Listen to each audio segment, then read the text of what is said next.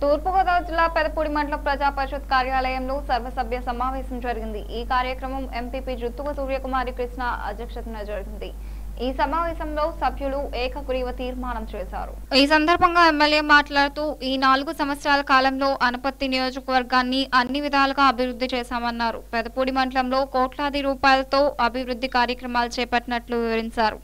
ప్రజలకు గత ఎన్నికల్లో ఇచ్చిన ప్రతి హామీలను చంద్రబాబు నాయుడు నెరవేర్చడం జరిగిందన్నారు. బీజేపీ అధికారంలోకి వస్తే ఏపీకి ప్రత్యేక హోదా ఇస్తామని చెప్పి ఇప్పుడు ఆంధ్ర ప్రజలను మోసం చేసిందని తెలిపారు. అనంతరం పెదపూడి మండలానికి చెందిన లబ్ధిదారులకు మత్స్యశాఖ వారి ఆర్థిక సహాయంతో ఎస్సీ ఎస్టీ సబ్సిడీ నిధులతో ఇరవై మందికి సైకిళ్ళు ఇద్దరికి మోటార్ సైకిళ్ళు మరియు ఐస్ బాక్స్ ఒకరికి ట్రక్ ఆటోని లబ్ధిదారులకు ఎమ్మెల్యే రామకృష్ణారెడ్డి చేతుల మీదుగా పంపిణీ చేశారు. ఈ కార్యక్రమానికి ZPTC Chirra Varaprasad MPDO Chakradhar Rao MPTC సమాఖ్య మండలి అధ్యక్షులు Tamalampudi Sivarama Reddy Godavari delta project committee vice chairman Marni Rambabu Putta Gangadhar Chowdary సర్పంచ్లు సమాఖ్య మండలి అధ్యక్షులు తిబిరిశెట్టి దొరబాబు దత్తుడు సానా శ్రీను చిన్నబాబు సర్పంచ్లు ఎంపీటీసీలు అన్ని శాఖల అధికారులు ఈ కార్యక్రమంలో పాల్గొన్నారు.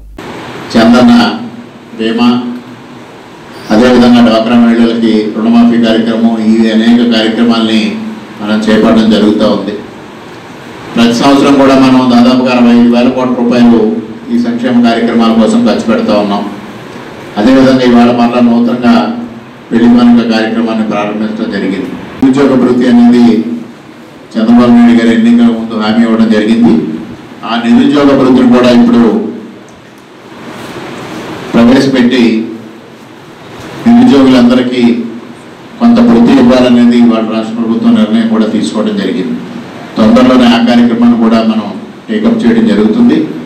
అదేవిధంగా ఇప్పటికే మనం దాదాపుగా రాష్ట్ర వ్యాప్తంగా యాభై లక్షల మందికి పెన్షన్లు ఇవ్వడం జరుగుతూ ఉంది.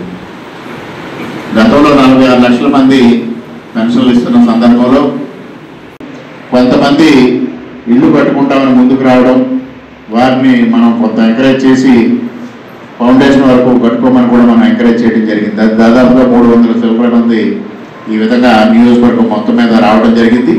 నేను ఒక పది రోజుల క్రితం హౌసింగ్ అధికారులతో సమీక్ష నిర్వహించిన సందర్భంలో దీనిపైన ఒక నిర్ణయం కూడా తీసుకోవడం జరిగింది. ఎక్కడైతే నాన్ స్టార్టెడ్ హౌసెస్ ఉన్నాయో అవన్నింటినీ క్యాన్సిల్ చేసి ఇప్పుడు ఎవరైతే ఫౌండేషన్ వరకు నిర్మాణం చేసుకున్నారో వాళ్ళందరికీ ముందుగా ప్రయారిటీ ఇచ్చి వాళ్ళకి శాంక్షన్స్ ఇచ్చినట్టయితే వాళ్ళ నిర్మాణం పూర్తి చేసుకున్న తర్వాత మరలా ఈ సంవత్సరం ఏదైతే మళ్ళా కార్యక్రమం కూడా చేపట్టడం జరుగుతూ ఉంది ఇక్కడ ఉన్న ప్రజాప్రతినిధులందరినీ కోరుకునేది గ్రామాల్లో ఎవరైతే అర్హులైన లబ్ధిదారులు ఉన్నారో వారందరినీ ఎంపిక చేసి రేపు ఈ రెండు వేలతో సుమారుగా గ్రామాల్లో మనకి పెద్దగా ఇంకా పెన్షన్లు ఇవ్వాల్సి రావడం జరిగింది.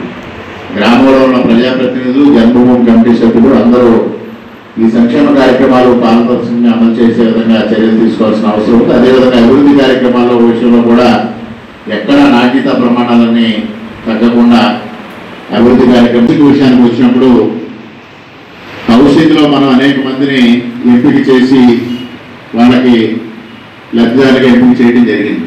కానీ చాలా మంది ముందుకు వచ్చి